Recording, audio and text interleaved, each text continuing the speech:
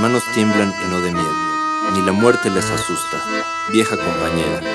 Los años se reflejan en los ojos, en las manos, esas manos, tan suaves, tan de papel, aún tienen la fuerza y la firmeza para acariciarnos, para hacer corundas, cortar el maíz, hacer tortilla. El cabello, como la espuma en la orilla del lago, se diluye blanca, llena de experiencia. El camino recorrido hizo blanda la vereda, verdes los pastos, fértil el campo, polvo las piedras.